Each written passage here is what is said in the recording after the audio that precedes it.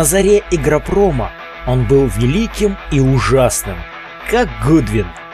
Потом его жизнь пошла под откос.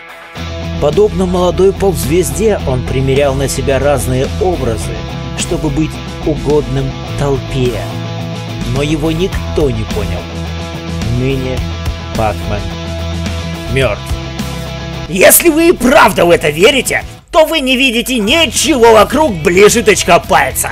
Да даже ткнув пальцем, вы попадете не туда. Безусловно, Пакман был легендой. Он родился из недоеденного обеда, так же, как и тысячелетний сокол. Он пожирал не только точки в лабиринте смерти, но и деньги масс, так же, как и Понг. Когда популярность Желтобокова начала падать, он пошел на пластику. Он становился диагональным. У него появились глаза. Он отрастил себе конечности и даже обзавелся семьей. Понятно, что и геймплей менялся от одной операции к другой. Если раньше наш колобок бегал по лабиринту и жрал всякое, то позже... Он стал просто платформенной бегатюшкой! Это было никак.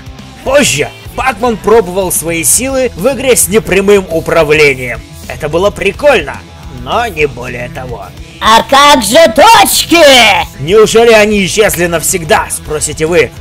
Там спал! Гордо проору я. Они появились, как только Желтобок затрехмерился на первой плойке, а потом продолжил свой путь на плое 2.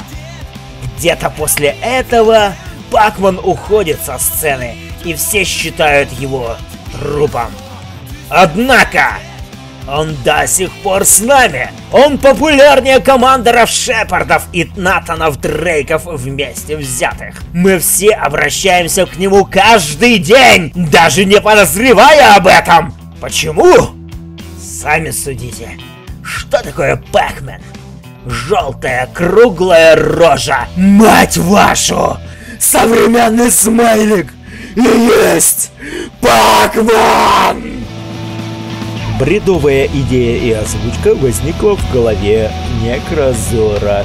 Тайминг и сведение всего этого барахла. Подписывайтесь на наш канал.